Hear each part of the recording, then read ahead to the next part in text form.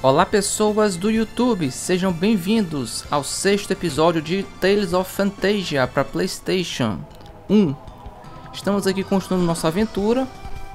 Nesse momento, o Class e, o, e a Mint foram enviados para o passado, onde eles terão que achar um meio de derrotar Daos. Eles que, vão ter que fazer uma investigação para descobrir um meio de derrotá-lo e assim tentar salvar o tempo presente, onde seus amigos Morrison e Chester ficaram em maus lençóis, porque eles, eles tiveram que ficar no passado para enfrentar o Daos sozinho, e eles são capazes de derrotá-lo. Então nossa missão aqui é investigar como derrotar Daos, e até o momento eles chegaram à conclusão que a única maneira de causar dano a Daos é utilizando magia. Então nós temos que achar um usuário que possa utilizar magia, né? uma pessoa que seja capaz de usar esse poder e assim a gente conseguir ter alguma chance contra Daos, que vai ser o vilão principal do jogo.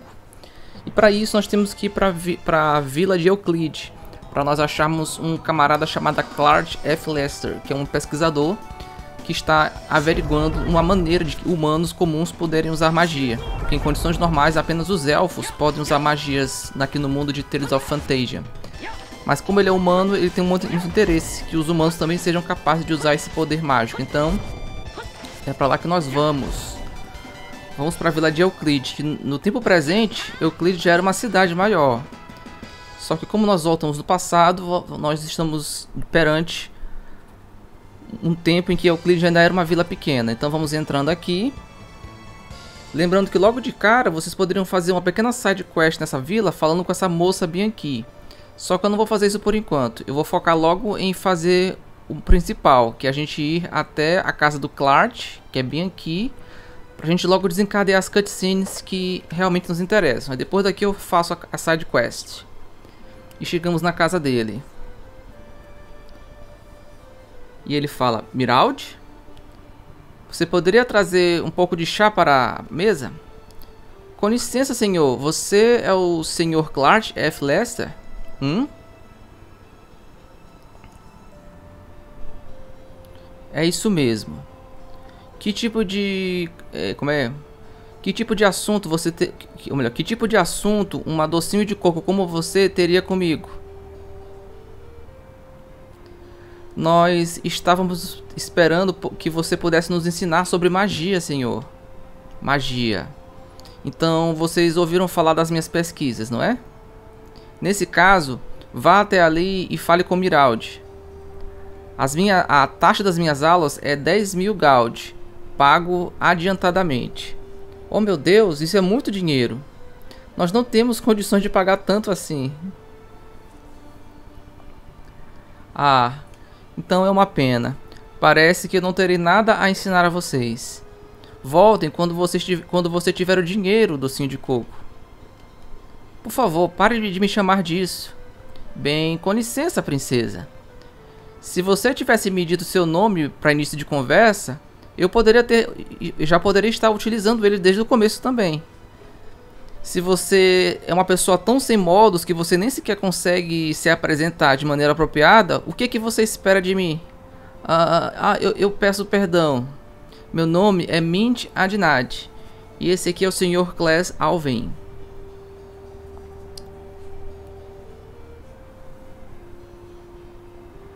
Senhor Lester, nós precisamos de magia a qualquer custo. Nós precisamos de magia para derrotar Daos. Derrotar Daos? O quê? Então vocês são apenas uma dupla de comediantes, não é? Hum, boa tentativa. Agora passem o dinheiro ou deem fora daqui. Eu não tenho o dia todo. O quê? Mas como ele é sem coração? Aí alguma pessoa misteriosa fala: Clark F. Lester, como se atreve a falar dessa forma com nossas visitas? Com nossos visitantes? Miraldi, quer dizer, fala sério. Por que, que você precisa ser sempre tão grosso, rude e sem consideração? Essa não é a primeira vez que você conhece essas pessoas? Elas não estão depositando sua confiança em você? Será que seria tão ruim assim você mostrar um pouco de boa cortesia? Você é uma pessoa tão egoísta, tão egocêntrica e um, e um tolo às vezes.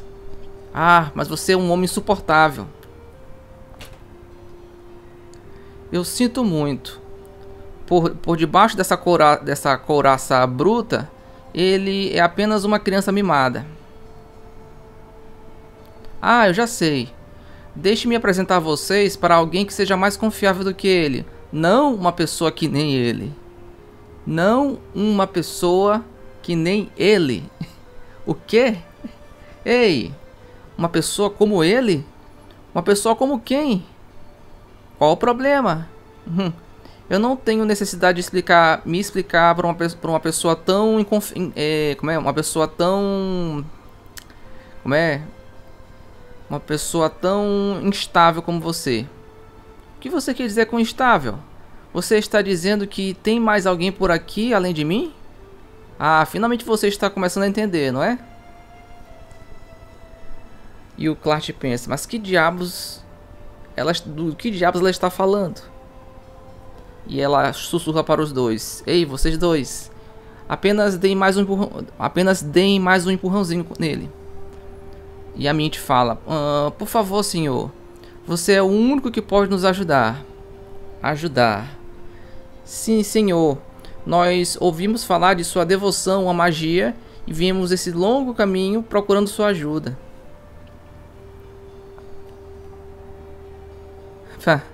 Bem, vocês dois parecem ter suas razões para ficarem me importunando de maneira tão persistente. Então, por que, que nós não simplesmente. Melhor. Por que, que vocês não simplesmente me contam? Quem são vocês, afinal?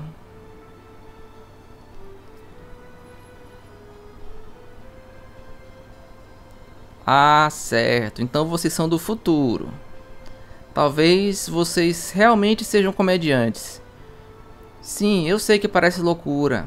Eu também tive dificuldade de acreditar de fato até que eu pudesse realmente. até que a, a ficha caísse. Mas, seja verdade ou não, o fato é: nós precisamos do, do poder da magia para ter alguma chance contra Daos. E a mente fala: Por favor, você pode nos dar a sua força? Nos conceder a sua força? Ho, ho. E quem disse que eu podia utilizar magia? Eu sou apenas um humano comum, não sou nem elfo nem meio elfo. Vocês conseguem ver? Minhas orelhas não são pontudas. Sim, é isso que o chefe de Belador nos contou, mas ele ainda tem muita confiança em você, Sr. Lester. Na verdade, magia não, não é uma coisa que está completamente limitada aos elfos. Os espíritos também têm um poder equivalente à magia. A minha pesquisa está centrada sobre achar um método de usar magia indiretamente ao pegar emprestado o poder dos espíritos. Isso é, invocar os espíritos através das artes de invocação, como eu costumo chamar. E a Miraldi fala: não é como se você tivesse ido muito além da teoria, não é? Eu agradeceria muito se você ficasse quieta, mulher. De qualquer forma, sim, teoricamente é possível. Se eu tiver sucesso em poder fazer um pacto com um espírito, eu serei capaz de usar poder, um poder igual à magia. Contudo, fazer um pacto é mais fácil dito do que feito. Mais fácil falar do que fazer os espíritos tendem a morar em locais perigosos, onde os humanos não podem entrar facilmente. Como, isso, como essa história toda parece para vocês? Para colocar em palavras mais simples. Vocês me dão uma mão e eu dou a vocês outra. Melhor, uma mão lava a outra. Nesse sentido ele quis dizer, eu ajudo vocês, vocês me, vocês me ajudam.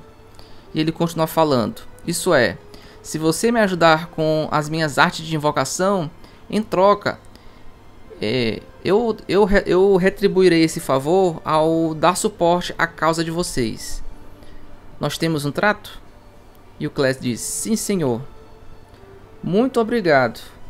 Nesse caso, eu não queria apressar vocês, mas vamos nos dirigir até o Lone Valley logo agora. Sylph, o espírito do vento vive lá. Miraldi, pegue o meu chapéu. Eu provavelmente não, não irei retornar por um bom tempo.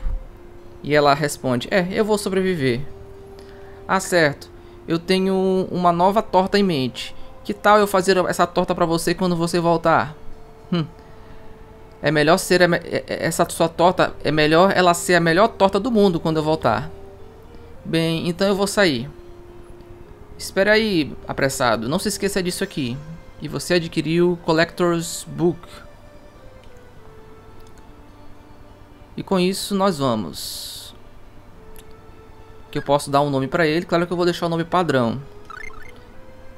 Falando nisso, vocês dois. Nossa biblioteca é, tem muito material sobre magia e sobre os espíritos. Talvez vocês achem alguma coisa útil. Ah, e mais uma coisa, vocês devem evitar se dirigir ao Clark de maneira tão formal. Nós não queremos acabar inflando o ego imenso dele mais do que ele já está inflado, não é? Ah, cala a boca, Miraldi. Mas sim, vocês podem me chamar apenas de Clark. É o seguinte, pessoal, se vocês quiserem, vocês podem investigar esses livros aqui que eles falam várias coisas interessantes sobre a lore do jogo, informações interessantes e que expandem o universo e a história do jogo. Mas agora que eu consegui isso, vamos agora fazer aquela side quest que eu falei para vocês anteriormente. Vocês precisam descer aqui embaixo e falar com essa garota aqui. Falem com ela. E o Class fala, ah, com licença, você podia me contar por que, que você está aí parada? E ela não fala nada. Aí vocês se distanciam e a Mint fala com a gente. Tem alguma coisa de errado, Mint? Essa garota ali, ela não está se sentindo muito bem. Ah, é mesmo?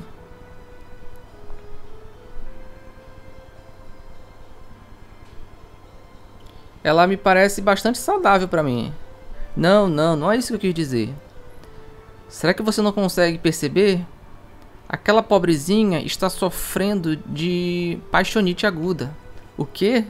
Como é que você pode saber disso? Os olhos vagos dela, essa expressão vaga. Pelo rosto dela já dá para saber. Será que nós não podíamos parar por um minutinho aqui só para dar uma ajuda para ela? Eu realmente não acho que isso seja da nossa conta, mas eu sinto muito. Eu, é, eu não ouvi isso. Será que você podia falar mais alto? Ah, eu estava apenas falando comigo mesmo. Então agora nós temos que falar com ela. Mas espera aí que eu já volto, pessoal. Pronto, que de vez em quando eu tenho que reiniciar esse, esse gravador para a gravação ficar mais fluida. Agora vamos falar com ela. E o Class fala, Hey, hey, o que foi? Mas que... Como o tempo está bonito, não é? Class, por que, que você está dando em cima dela? Deixe-me cuidar disso. Olá. Você não me parece estar tão bem. Você podia me contar o que, é que há de errado? Uh, mas... Por favor, não fique tímida. Eu quero te ajudar. Para te falar a verdade, existe uma pessoa que eu, uh, que eu gosto. Ah, exatamente como eu pensei. Você, você poderia me contar mais sobre ele? O nome dele é Elwin e ele está na loja de armas nesse momento. A loja de armas, entendi. Então deixa tudo comigo, ok? Elwin, ela tá toda apaixonada com ele. Então você tem que subir aqui na, na, na cidade e vão para a loja de armas pra gente falar com esse tal de Elwin. Fale com ele ele vai dizer e o Class fala: "Com licença, senhor. Você seria o Elwin?" "Sim, é isso mesmo." "Mas como é que você sabe disso?" "Bem, você sabe. Existe uma garota lá fora que tem uma queda por você." "Ah, eu estou honrado." "Como é que ela é? Qual o nome dela?" "Ah, sim, é, eu vou eu volto já já." Então a gente tem que voltar pra garota pra, pra perguntar o nome dela, que a gente, a gente esqueceu completamente de fazer isso, né? Uma coisa tão básica. Nós não. Você não, você não nos disse seu nome, senhorita. Ah, sim, eu sinto muito. Eu sou Nancy. Eu sou a filha do dono da mercearia. Então a gente volta para o Elwin novamente e conta para ele o nome da moça. Ela disse que o nome dela é Nancy e que ela é a filha do dono da mercearia. Nancy, não é? Bem, acho que vai ser difícil. O que há de errado? Infelizmente, eu tenho pouco tempo para ficar nessa cidade. Eu trabalho para uma empresa de importação de Venezia e eu vim para essa vila a negócios. Meu serviço aqui já está quase terminado e eu já agendei a minha, o meu retorno ou melhor, eu já agendei a minha viagem de retorno para Veneza logo, logo daqui a pouquinho. Além do mais, o presidente da, da companhia é o meu pai. Ele jamais permitiria que eu tivesse esse tipo de relação. Você não pode apenas simplesmente é, abrir mão de alguns minutinhos só para vocês se conhecerem? Eu tenho medo de que se eu vê-la pelo menos uma vez, talvez seja difícil para mim apenas deixá-la esquecer sobre ela. Mas você poderia dar os meus cumprimentos para ela? Eu tenho que voltar ao trabalho. É pelo visto ele está receoso de acabar se apaixonando por ela e acabar se tornando uma paixão impossível, já que o pai dele não aprovaria ele se relacionar com uma pessoa tão de classe tão baixa. E a Nancy fala: "Não funcionou, não é? De alguma forma eu sabia que isso aconteceria. Já que ele é filho de um grande empresário e eu sou uma mera filha de um, merce um cara da mercearia e tudo mais. Não tem como isso dar certo. Mas obrigado, vocês fizeram bastante. Eu vou ficar bem. Por favor, não se preocupem comigo. Ela ficou triste. Mas isso faz parte de uma side quest um pouco mais longa que a gente vai fazendo no decorrer do jogo. Aqui agora eu vou começar a pegar os baúzinhos que estão espalhados por essa, essa, por essa cidade. Eu sei exatamente onde é que eles estão. Tem dois baúzinhos aqui. O que mais que eu tenho que eu posso pegar por aqui? Acho que tem um baúzinho aqui atrás, correto? Aqui perto da loja de armas. Pronto, outro baúzinho, mil gold. Deixa eu ver mais o que, eu posso coletar por aqui. Eu sei que tem um baúzinho escondido por aqui que eu tenho que subir pelas árvores. Para poder chegar até ele. Aqui temos Charm Bottle, que é um item até meio raro de se conseguir. Então foi, eu fiz bem em ter subido até aqui.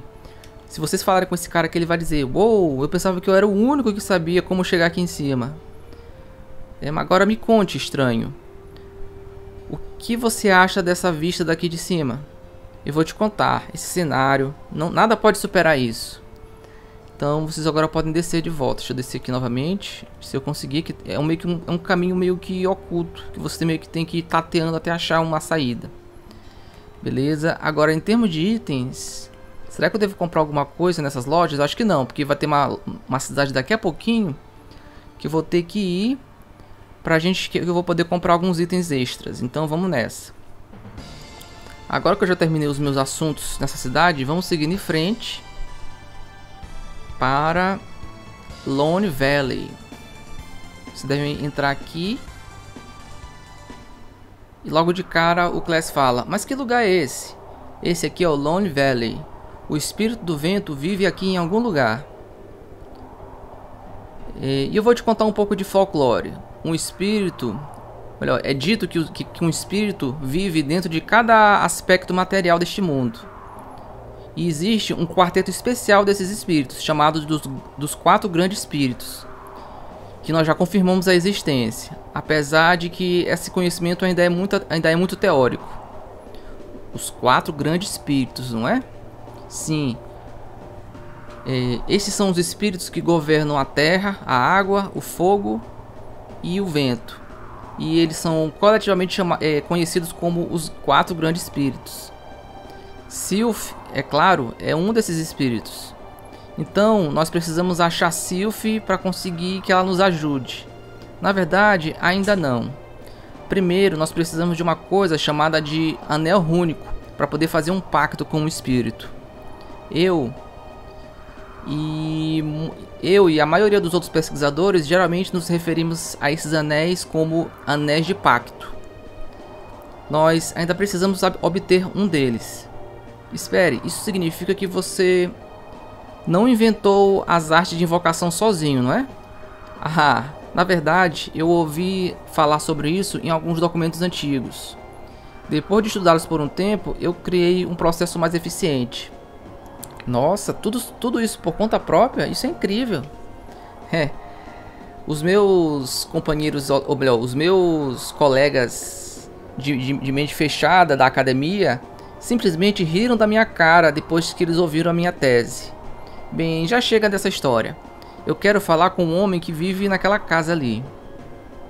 Então, mas antes de entrar na casa, percebo que aqui atrás tem um baúzinho.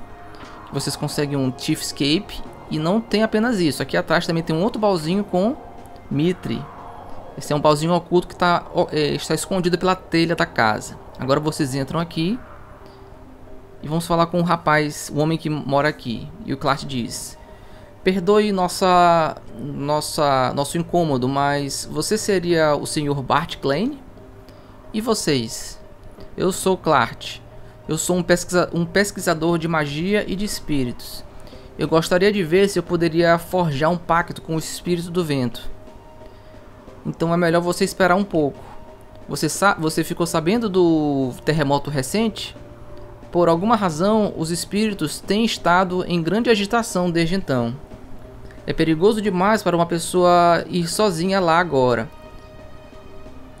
É, é perigoso demais para uma pessoa é, subir a montanha agora. Então, eu não fui capaz de investigar. E o Clat responde: Obrigado pela sua preocupação, mas nós não temos tempo a perder. Então, eu, eu agradeceria, eu agradeceria imensamente se você pudesse nos dar um anel único que você tem aí. Naturalmente, nós iremos compensar vocês, você por isso. Eu não tenho ideia de onde foi que você ouviu falar do meu anel, mas se você puder me ajudar, eu de bom grado poderei lhe dar ele em troca. E o que é que você pede de nós? A minha filha saiu há alguns dias atrás e ainda não voltou. Eu temo que ela deva ter subido lá no vale para checar, checar os espíritos. Uma jovem garota subindo até o vale sozinha? Mas o que, é que ela estava pensando? Minha filha pode ser um pouco imprudente e eu estou preocupado. Seria bastante indelicado de nossa parte recusar ajudar você a achá-la. Então, trato feito. O nome dela é Archie. Vocês vão reconhecer ela porque ela usa um rabo de cavalo. Ela é um pouco agitada, mas não deve ser muito difícil vocês reconhecerem ela. Ela certamente é uma, uma criança que chama atenção. Entendido. Nós manteremos nossos olhos abertos. Então eu vou deixar a questão da segurança de Ash em suas mãos. Então, se você quiser achar o espírito do vento, ela está localizada lá nas profundezas do vale, depois das pontes de suspensão.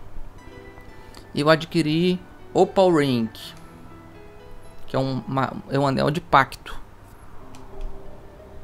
Aliás, se vocês falarem com ele novamente, ele vai dizer o seguinte: e uma palavra de precaução. Esse vale está cheio de coisas perigosas e outros obstáculos. Eu recomendo que vocês obtenham um pickaxe e uma rope para poder superar esses obstáculos. Vocês devem achá-los em bom estoque na loja de ferramentas em Harmel. Então é para lá que nós vamos, mas antes disso, é, vamos logo para lá para Harmel. Eu poderia ter ido lá desde, desde, desde o começo, se eu quisesse, mas eu deixei para fazer essa visita só agora, para ficar mais condizente com o fato de que ele nos contou isso só agora. Então vamos aqui matar esses inimigos, utilizando nossos poderes mágicos. Ah, não.